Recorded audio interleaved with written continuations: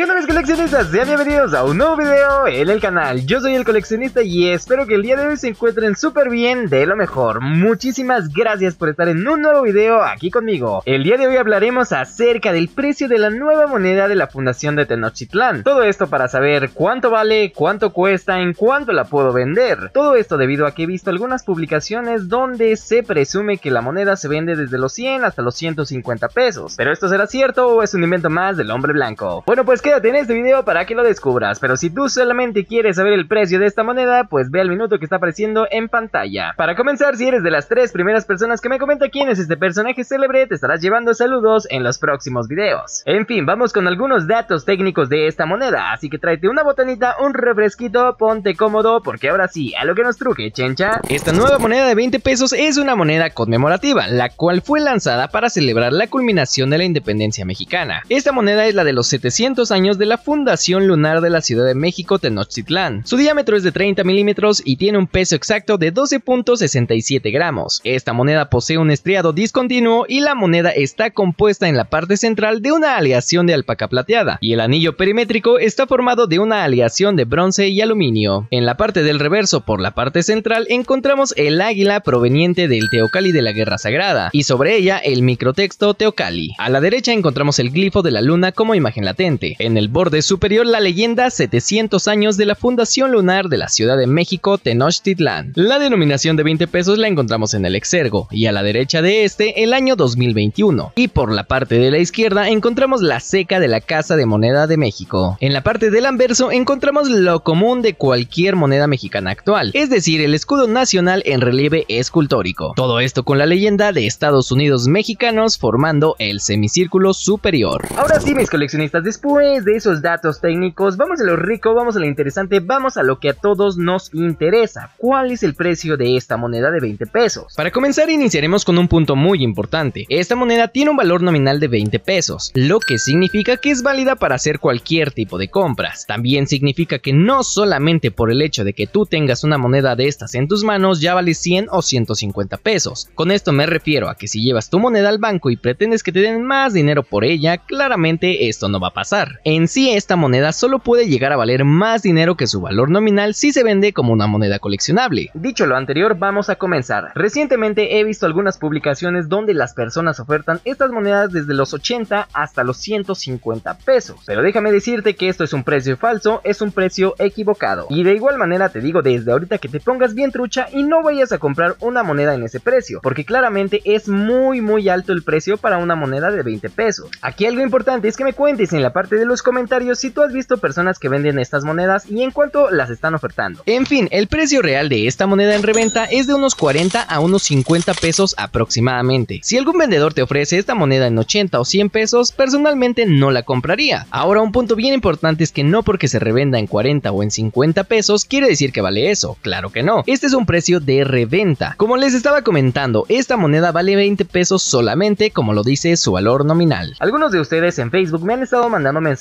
que dónde se puede conseguir esta moneda porque la necesitan añadir a su colección. Digamos que lo que muchos hacen y lo que realmente sería lo correcto sería esperar a que lleguen hasta el cambio, o sea, digamos que la entreguen en tiendas y que nos las den en el cambio. Aunque en este punto hay personas que prefieren acudir al banco y pedir que les cambien 200 pesos por monedas de 20 pesos. Así que entre estas 10 monedas que les dan, muchas veces corren con suerte de que les toquen las nuevas monedas de 20 pesos. Así que si quieres conseguir estas monedas sin comprarlas en reventa, lo que podrías hacer sería eso, acudir a cualquier banco de tu confianza y pedir que te las cambien. Aunque también hay personas que conocen a alguien en el banco y les piden que les aparten estas monedas. Así que este tipo de personas no compran las monedas en reventa. Punto bien importante sería que actualmente estas monedas tienen este precio en reventa. Todo esto porque tiene más o menos un mes de que comenzó a circular esta moneda. Por lo tanto sigue siendo muy fácil conseguir esta moneda en el banco. Obviamente con el pasar de los días yo considero que esta moneda va a comenzar a cotizarse un poco. Todo esto porque no va a ser ya tan fácil conseguirla. Aunque yo aquí tengo una duda y espero que alguno de ustedes me pueda ayudar. ¿Ustedes saben cuántas monedas de estas se acuñaron? Si conoces el dato déjamelo en la parte de los comentarios. Otra cosa importante es que el tener una o dos monedas conmemorativas no te asegura que vayas a ganar mucho dinero en el futuro. Además de que como siempre les comento, el precio de esta moneda va a depender demasiado del estado de conservación. Para que pueda lograr venderse en reventa necesitamos que la moneda esté en un estado de conservación perfecto. Así que mi consejo sería que si en algún momento te llega esta moneda a tus manos, consérvala de una manera perfecta. Esto quiere decir que no la ensucies, no la manches ni la golpees. Digamos que la conserves en un estado perfecto para que en un futuro puedas tener una pieza de colección intacta. Ahora un punto bien importante es que toda esta información que te estoy contando acerca del precio, etcétera, es válida solamente para el mes de octubre de 2021. Todo esto porque yo no sé si el día de mañana o de aquí a un mes o a dos meses el precio de esta moneda pueda elevarse o al contrario. Pero si me lo preguntan, yo considero que el precio de esta moneda va a comenzar a subir en algunos meses. Todo esto porque va a ser un poquito más difícil encontrarla en los bancos o en circulación. Ahora lo que sí es importante es que si tú aún no tienes esta moneda, mi consejo sería que la comiences a buscar, pero que tampoco te desesperes y la compres con cualquier persona que te la quiera vender en 80 o en 100 pesos. Si tienes la oportunidad, dirígete al banco y trata de conseguirlos al precio real, o sea, en 20 pesos. Pero ¿sabes qué es lo mejor de todo esto? Que toda esta información te la traigo hasta la comodidad de tu sillón.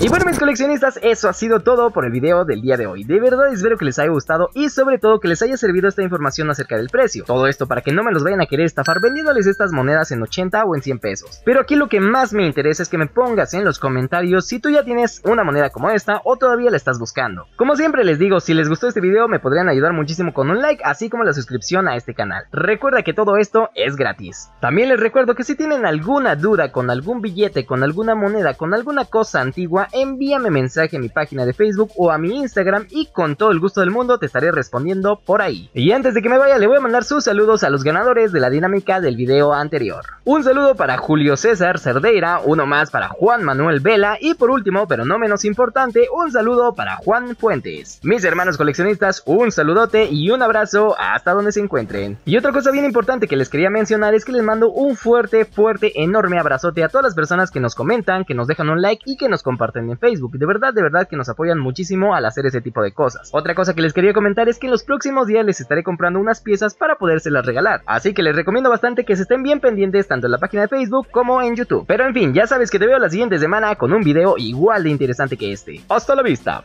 baby.